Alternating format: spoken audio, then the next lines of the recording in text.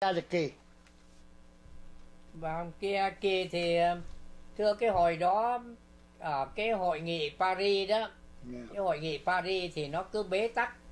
À, à, thế thì à, báo chí ngoại quốc thì nó mang ra nó bêu dếu, à, Dạ. nó chế nhạo rằng thì là tại sao à, mặt trận như vậy đang chết bao nhiêu người như vậy mà lại cứ cãi nhau về hình cái bàn à, đúng rồi và nó cãi nhau về hình đúng cái đúng. bàn. Cái- thế thì là hình như mấy tháng này bà. Vâng.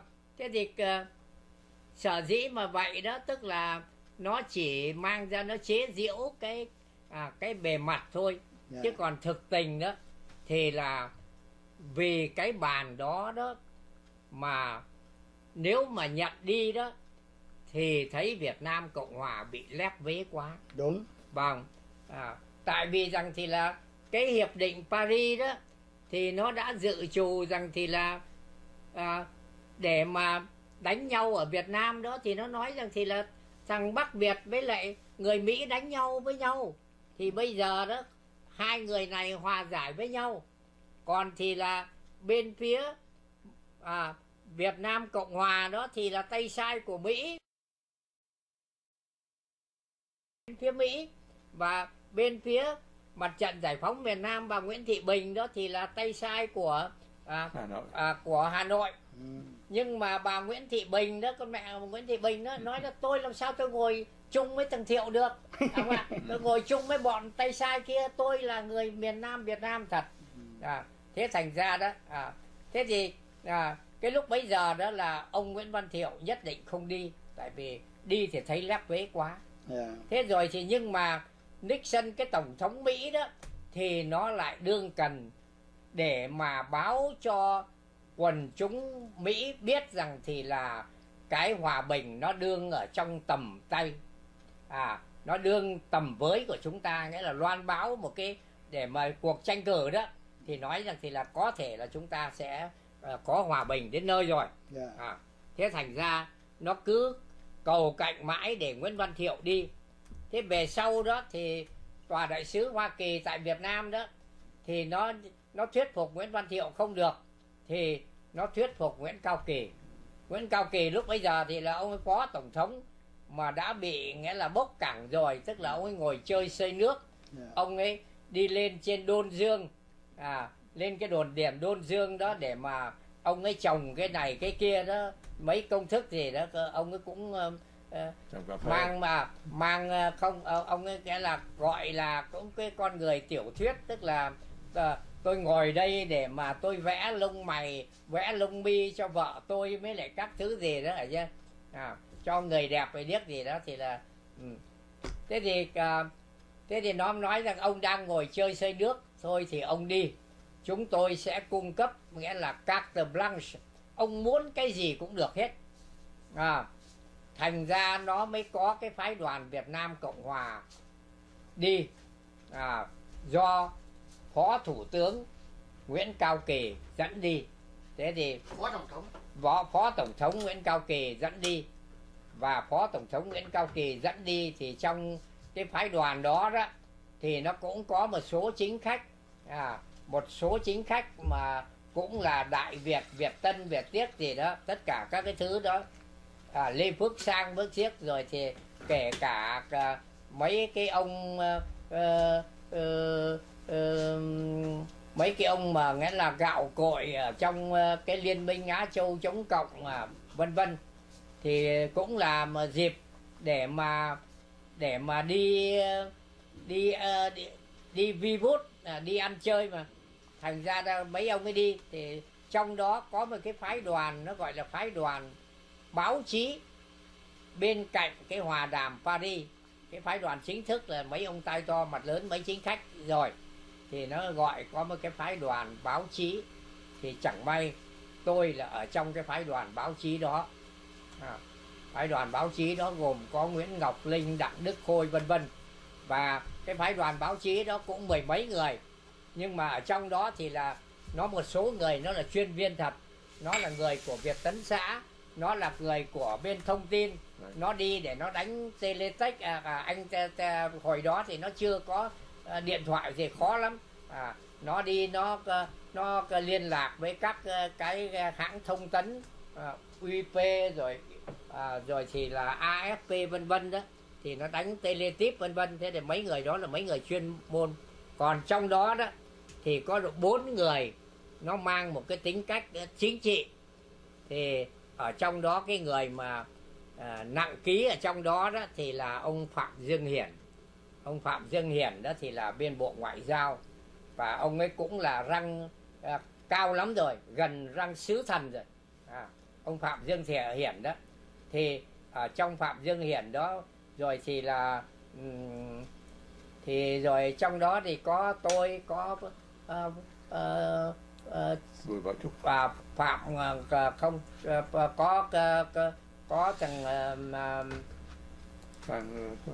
à có à có cái, cái uh, phạm dương hiển rồi có có thằng cha đại úy đại úy mà bây giờ nó coi nó coi về bệnh da thế thì vân vân thì là đại khái thì là mấy người đó thì đi trong cái phái đoàn đó. Lúc cái phái đoàn đó có cả ông Hà Tự Nhân nữa một trong những người à, đúng rồi có ông Hà Tự Nhân. có có có, có tiếng một chút ông chết rồi. Mới đầu thì là à, cái đó thì nghĩa là ở Việt Nam đó thì nó buồn cười lắm là cái mà cái nghị định của ông Kỳ đó à, cái sự vụ lệnh của ông Kỳ thì tất nhiên là của phó tổng thống hay gì đó tức là nó là cả một cái tờ giấy mà cái cờ vàng ba sọc đỏ nó nó xuyên qua rồi thì là đánh máy tên những người những người đó. Thì phần nhiều là cuối đó là người ta gạch chéo một cái là cho nó hết. Thì mới đầu đó hình như là nó độ 18 người. Trên Việt Nam Cộng Hòa thì lúc nào cũng lấy cái con số hên là 18 người. Một với 9 là 18 à, xong rồi đó về sau đó thì là móc thêm ba bốn ông ở đằng ở dưới đó. Thế thì là um, thế thì cái, um, cái ông uh, đi qua bên đó thì là uh, cái phái đoàn Việt Nam thì uh, sướng lắm. Bởi vì nó là nó cho các tờ blanc sẽ thành ra phái đoàn Việt Nam là thuê ngay ở gần ngay sang Élysée đó. Ngay cái con đường phái đoàn Việt Nam Cộng Hòa.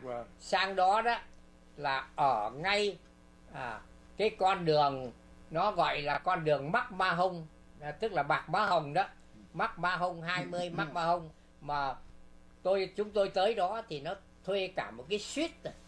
à, cả một cái lầu một. Mà lầu một đó đó thì mình mới biết rằng thì là đây là một cái khách sạn sang trọng mà những phái đoàn văn nghệ phái đoàn ca nhạc quốc tế đó nó tới. À, nó tới đó nó đóng đô ở đó. Ví dụ nó tới đó nó thuê nửa tháng hay là gì thì phái đoàn Việt Nam Cộng Hòa là cũng lại thuê ở chỗ đó. Còn ông trưởng phái đoàn Việt Nam Cộng Hòa đó thì ông Nguyễn Cao Kỳ đó thì ông lại ở một cái villa lớn khác à, villa lớn khác ở bên cái cái bên bờ của cái cái rừng bu lô nhỉ đó à. Thế thì ra thưa thì tức là nghĩa là uh, đây là một cái dịp mà à, đấu hot nghĩa là Mỹ nó cho cho tiền nó mà mời đi thì là ở trên đó thì chúng tôi ở đó là buổi sáng. À, à đi ở đó là nó cho nó cho mỗi người cái cấp dưỡng, dưỡng là mỗi người 800 đô la một tháng. À, 800 đô la một tháng. Và ăn cơm phái đoàn là phái đoàn là có xe có tài xế của tài xế thì tất nhiên là tài xế ở bên pháp. Nó lái xe đi để mà mình đi công tác tức là đi tác nghiệp đó đi nghe các buổi họp rồi đi giao dịch với việt kiều về kiếp rồi thì là còn thì là buổi chiều thì là có cơm việt nam. À, phái đoàn của mình đó là ông ông nguyễn ngọc linh ông khôi đó là ông ấy mang cả mang cả cái thằng tà lọt của ông ấy rồi mang cả mấy người nấu bếp nấu bếp về việt nam qua là ăn cơm Việt Nam ở trên cái phái đoàn nó coi như là hết sức là sung sướng. À, hết sức là thả giản coi như là ờ, ăn cơm chúa múa tối ngày à, thế thì à, ở trong đó thì nó có một vài cái nó có một cái buồn cười. À thì vì rằng thì là lúc mình qua đó thì là nó có cái nó có cái đường bay. Nó có cái đường bay của Âu Châu đường bay ở Bruxelles rồi đó. Tức là từ Sài Gòn đó. À, đường bay của NATO của Bruxelles rồi đó. Tức là cái trụ sở của NATO là nó nằm ở bên Bỉ nó nằm ngay bên cạnh uh, nước uh, nó ngay ngay bên cạnh nước Pháp đó.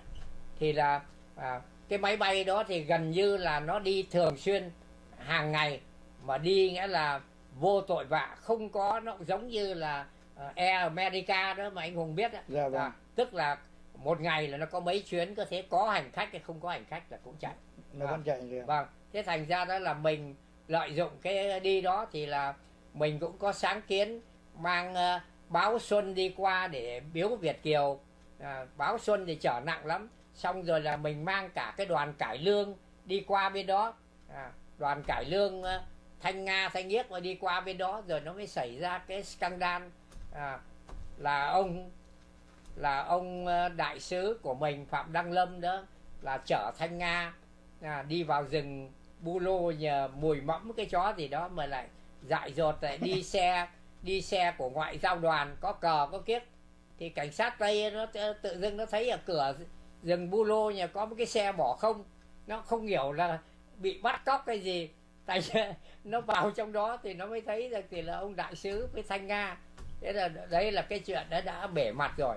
À thành ra mà cái không khí ở Paris là nó là cái bọn phản chiến, nó rất ghét phái đoàn Việt Nam, nó coi phái đoàn Việt Nam là tay sai của Mỹ đó. Thành ra nó cũng đã rất ghét rồi mình ở trong đó bị cái scandal scandal thứ gì đó là à, ông ông Nguyễn Ngọc Linh lại mang một người đẹp là cái cô ấy là cô hợp. Cô ấy là sướng ngôn viên của cái của cái tiếng nói xây dựng nông thôn của Nguyễn Bé đó. À, cái giờ chót đó hai năm chót đó thì là tuyển cái tiếng nói của xây dựng nông thôn. Bà hợp có phải là vợ của ông Nguyễn Ngọc Bích không? Không không không. Bà bà Nguyễn Ngọc Bích là bà hợi. Bà hợi. À còn cái cô hợp này là cái cô đẹp lắm. Về sau cô ấy cũng uh, uh, lấy một vài người ở đây này một trong những người đẹp đó. Thì là à, bà Nguyễn Ngọc Linh bà ấy ghen. Bà Nguyễn Ngọc Linh bà mới thấy rằng cái phái đoàn đó lại có cái cô hợp đi. Thì bà mới gửi cái điện cho Nguyễn Cao Kỳ. Bà ấy nói rằng sẽ là xin ông trả à, chồng tôi về ngay. Phải không ạ ừ. không có thì tôi sẽ họp báo để nói rằng cái phái đoàn này là mang gái đi chơi bời thôi ừ. thành ra đó đấy là hai cái scandal ở trong à, cái cuộc đó và còn một chuyện nữa nó vui vẻ đó là tôi gặp cái kinh tế gia Nguyễn Xuân Nghĩa ừ. trong phái đoàn à không mà kinh tế gia Nguyễn Xuân Nghĩa lúc bây giờ đó thì là à, cái cái thằng cha này là nó là gì nó là chủ tịch của tổng hội sinh viên đúng rồi. của một cái trường đại học ở ngoại ô Paris. Nó gọi là Anthony Dorsey.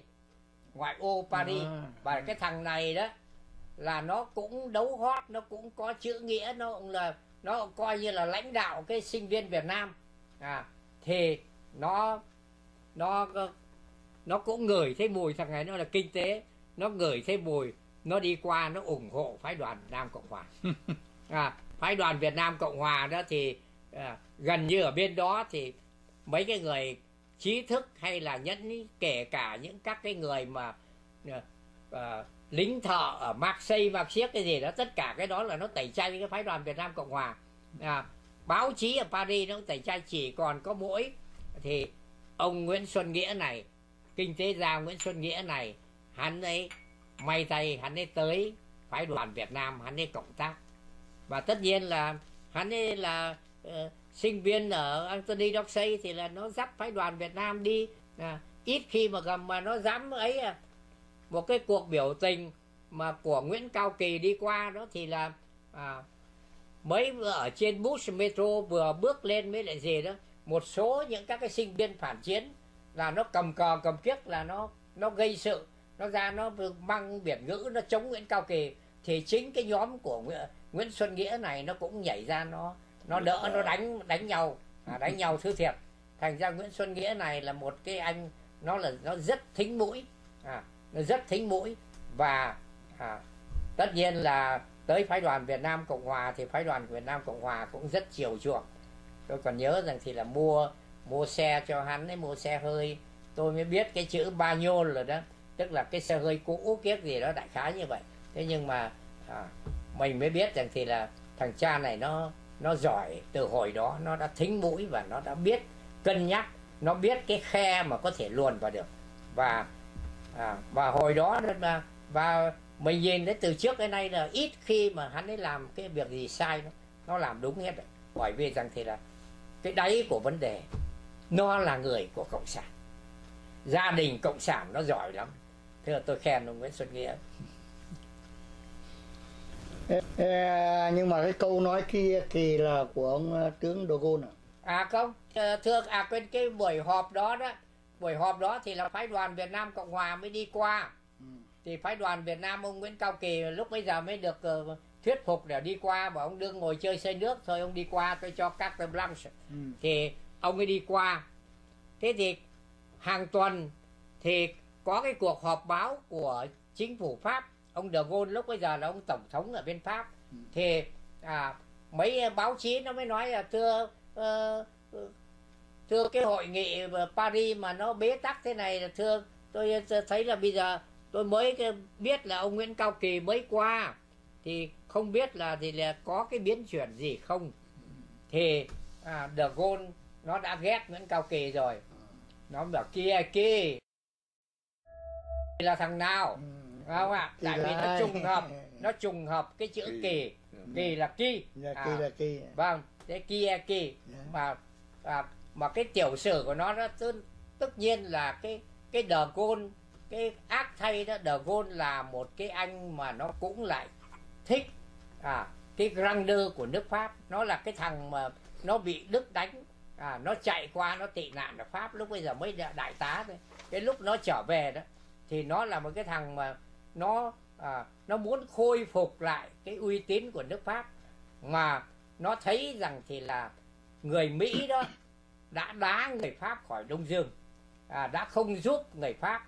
Khi mà người Pháp kẹt à, xa lầy ở Điện Biên Phủ đó à, thì kêu gọi nước Mỹ là cho một số máy bay B-29 đó là máy bay mà có thể tới à, Điện Biên Phủ mà giải tỏa đó thì người Mỹ à, Lat ở Tassini đi qua kêu gọi à, chính phủ Mỹ thì chính phủ Mỹ là đồng ý nhưng mà chính phủ Mỹ cũng lại đều à, nói ngay rằng thì đưa qua quốc hội thì quốc hội không đồng ý Vâng. thành ra và khi mà phái đoàn Việt Nam qua đó thì Bộ Ngoại giao Pháp nó cho đệ tam tham vụ báo chí của tòa đại sứ Pháp của Bộ Ngoại giao Pháp đệ tam tham bộ tức là một cái cấp bậc thấp lắm.